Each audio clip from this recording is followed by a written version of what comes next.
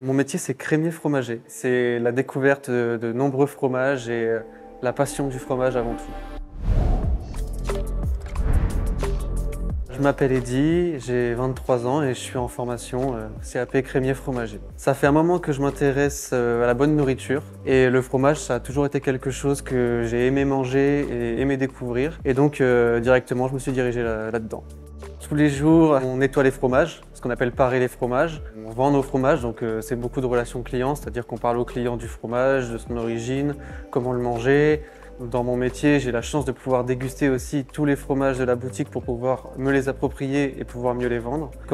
Je suis sûr de ce que j'ai à vendre, je suis sûr de mon produit, raconter son histoire et faire découvrir aux gens justement l'histoire du fromage en question, ça, leur donne envie justement d'acheter le fromage et d'en découvrir encore d'autres et c'est ça que, j'aime bien. Si toi aussi tu veux faire un métier de ouf, vas-y, contacte-nous.